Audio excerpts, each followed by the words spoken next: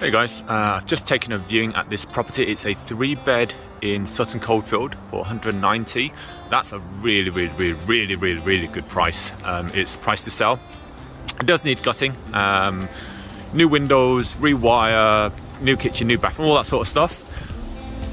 Really, I mean, it doesn't have parking, but I'll go back to the parking in a minute. But I just want to show the area. Um, look at this. Everybody really looks after their property here.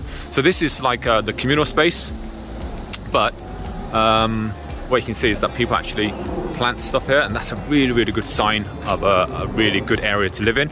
So the parking situation, this is the parking here. These are the neighbours.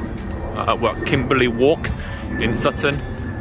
And there's also parking over there as well. Um, so while it doesn't have private parking, you can actually see uh, the car park right in front of it.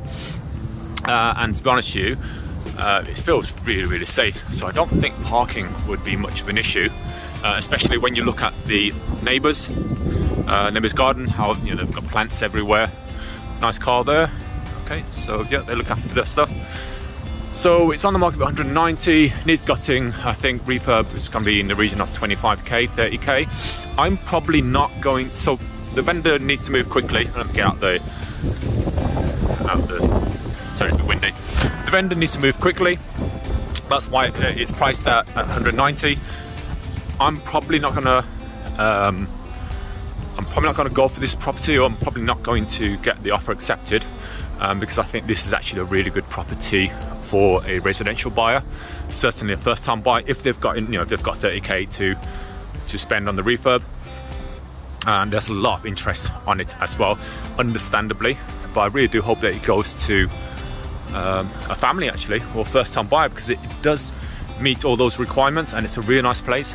And I think as a first time buyer if you've got the money uh, to spend on it to, to sort of do the works it'll be a great stepping stone because you know once you sell it once you move on there'll be certainly be enough capital appreciation uh, to help get you onto the next property on the ladder that's going to be worth a lot more um, so yeah, first time some, some more neighbours.